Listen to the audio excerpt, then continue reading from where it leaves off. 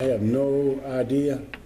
I don't have no idea. The and the only link that I, I mean, the only reason that right now that I would say that I wouldn't vote for, for Trump or wouldn't, this is a- probably the only year I probably won't vote at all. And the only reason that I don't vote for Trump, I saw a picture of Trump and Vince McMahon Jr. saying that Vince McMahon Jr. is his biggest donator. And, uh-huh. and to, to, to, I mean, for- and this is where Trump don't know nothing about me, but he know about that wrestling. Mm-hmm. Vince McMahon don't know no more about me than what somebody done told him.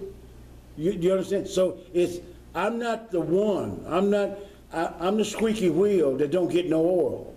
I'm not the one. I mean, they will, they gonna deal with individuals that he wanna deal with, that he can handle and use and deal with, you know?